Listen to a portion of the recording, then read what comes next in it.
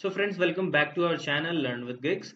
In today's video, I will discuss with you another interesting scenario based question which is quite often asked in the Power BI interviews nowadays. Okay, so you should definitely know how you can answer it correctly because it is something related to DAX. Okay, and nowadays uh, interviewers are very much focused on the DAX part. Okay, so let us proceed with the scenario and uh, and the solution obviously. So before that, if you're new to the channel, please subscribe and hit the bell icon to stay updated with all the coming useful videos for all of you. Okay? So let's proceed with the solution. Okay so as you would have seen from the title uh, we will be discussing to discussing today about running total. Like the interviewer will ask you can you write the dax code? Can you write the dax code for me for the running total? How will you calculate the running total? Or you can say the cumulative total. How will you write the dax code for that? So first of all let us understand what is cumulative total or what is running total. Both are the same.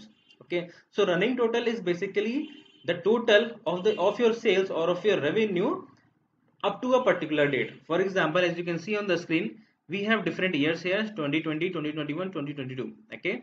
For 2022 we have the sales value as 890 for 21 we have 275 for 2022 we have the sales value as 1500 okay? So what running total measure or the cumulative total measure will give us? It will give me the sales of 2022 uh, sorry uh, the sales of 2020 the same 890 okay? But for 2021 that measure will give me the total value as 890 plus 275 okay? So that means the total value till that particular date or particular year okay? And if we go to 2022 so it will show me the total sales value up to this year. That means 1500 plus 275 plus 890 okay? So how will you calculate this? And i hope you understood what is the running total now okay. Now let me walk you through the table that we are considering here. Okay. So for this i have two tables. One is this sample sales sample table. Let me take you to the data view uh, tab. So here we have sales uh, sales sample table where we have a simple uh, few products a b c d e and they are different order date and they are different sales value. Okay. So this, so this is a very simple sales table okay for different products. Now we will be considering our calendar table also here okay? That is the date table here. So that date table is normally the continuous dates from uh, i have considered it from 2020 so from 2020 1st january 2020 to the current date that is of today okay? So till today it will have the continuous dates okay? So we are considering these two tables calendar table and this sales sam uh, sales sample table. And if i take you to the model view so as you can see here we have these two tables and they are connected to each other using date key column and with one to many relationship. That is what we should do. Okay. So this is about the model and the tables. Now let us go to the report view. Okay. So now we have to create a measure for the running total. How will we do that? Okay. So for that i will go here click for new measure. Okay. So i hope it is clearly visible now to you. So i will make it as cumulative sales. Okay? Or you can say the running sales or running total. That will be a better word because that is what interviewers will, will call that. Running total equal to calculate we'll make use of calculate function. What we will be calculating we will be calculating the sales sum of sales.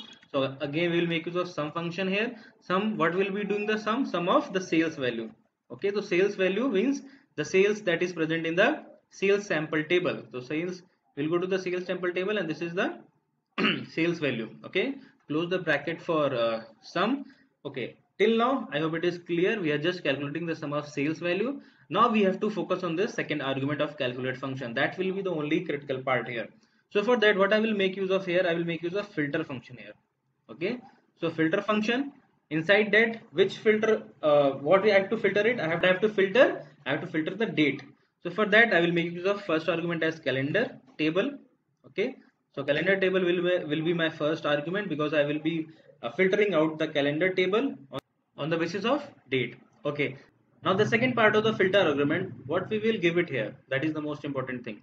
So for that what we will make we will make use of date column here okay? So the date column is of calendar only so we'll make use of this date column okay? And this date column should be less than equal to the maximum of maximum function maximum of this date only. Okay what do I mean by that?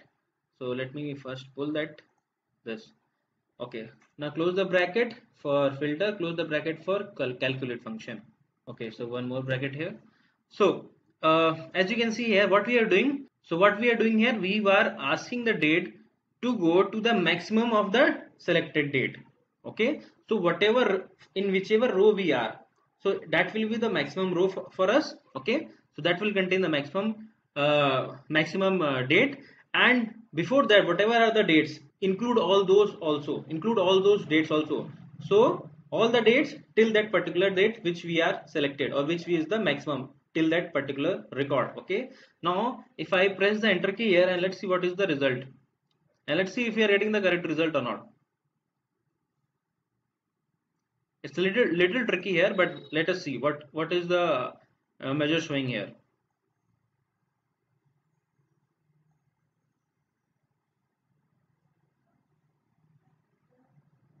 So as you can see here the running total is also giving us the same result what is the which is the actual sales value. But that is not our uh, problem right? The problem is different. It should show the total sales of of 2020 plus 2021 also in 2021 row so what is the problem here? So the problem is uh, is here. So in this filter argument the first argument we have given as at we have given it as calendar table. So here we have to include all function here. Okay why do we are why we are including all function here? Because let's let's see the result first and then i will explain. See we are now getting the correct results 890 plus 275 275 is 1165 and 890 plus 275 plus 1500 is equal to 2665 so right now whatever is shown on the screen is the right answer. So now why we have used all function here? All function what what does it do? It will ignore all the existing filters and return all the rows of the table or of the column whichever we have specified. So here we have specified this calendar table. So it will return all the rows of the calendar table ignoring all the existing filters. So whatever filters were there existing in this table it has ignored and then it has included this filter part. It will return all the rows of the calendar table and then on that particular number of rows this part of uh, this part will be executed. Okay? And then only this is giving us the correct results. I hope it is clear to you okay? So i hope you got the explanation. And this is what you have to answer to the interviewer. This is the dax code you have to write it in front of the interviewer. And this is the correct and exact dax code for it. Okay. So that's what i wanted to share with you all today. I hope you learned something from this video. And please share this video to all your friends and colleagues who are in need of this. Thank you and stay tuned for the upcoming videos